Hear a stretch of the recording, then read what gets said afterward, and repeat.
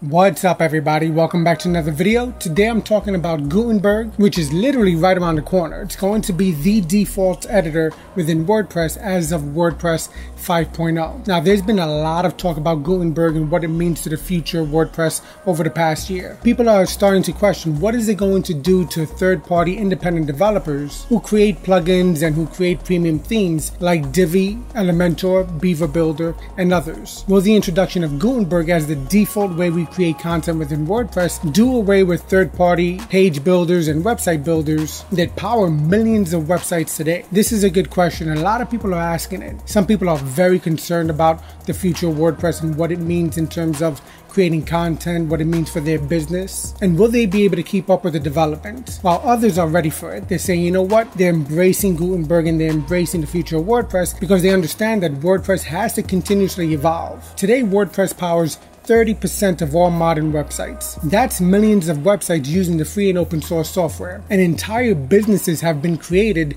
around WordPress itself, such as page builders and website builders like Divi, Elementor, and Beaver Builder, and a lot of third party plugin developers and premium theme developers. So now going back to the question, Will the introduction of Gutenberg in WordPress 5.0 completely do away with the need for these page builders and website builders? At first glance, it kind of seems like they're going to be difficult to uh, to stay in business. I mean, the competition is going to be great.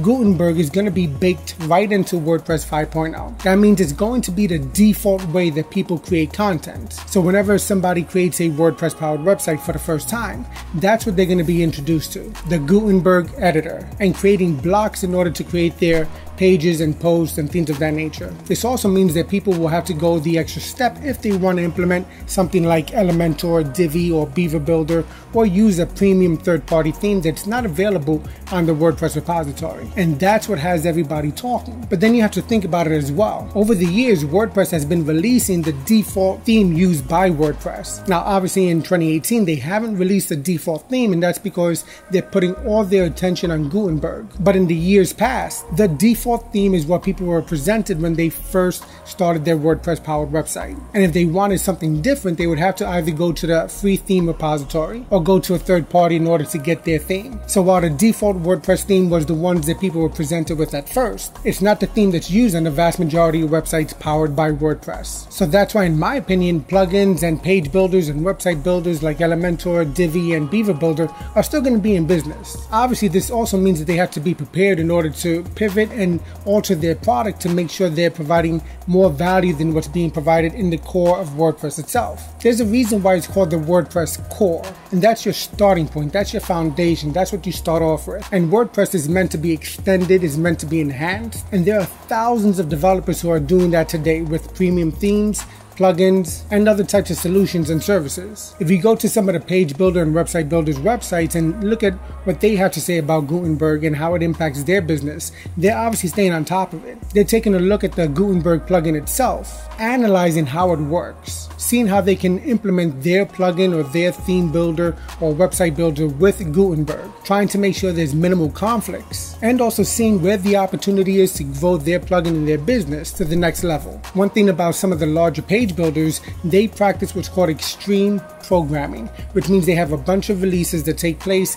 back to back. And they do this because they have a lot of requests from people customers and developers who want to see new features or tweaks within the way their products work. And the beauty about WordPress is you get to see where it's going. You get to see the direction that it's going in. Developers are encouraged to download the beta version and the nightly builds of WordPress itself to see what the future is going to hold. So developers and bloggers and businesses are not caught off guard. There's always a lot of communication taking place. There's a lot of announcements. There's a bunch of people who are dedicated to focusing on WordPress that are staying on top of it. And some of these companies that are behind Elementor, Divi, and Beaver Builder have a whole dedicated team of developers who are always trying to add new features, always trying to figure out what's next. What will people want in terms of their website design and the ease of creating content? And the same is true about premium WordPress theme developers. You'll find that most themes get updated on a frequent basis in order to add new design trends or new functionality that previously didn't exist. And we could actually go back to like 2012 and 2013 when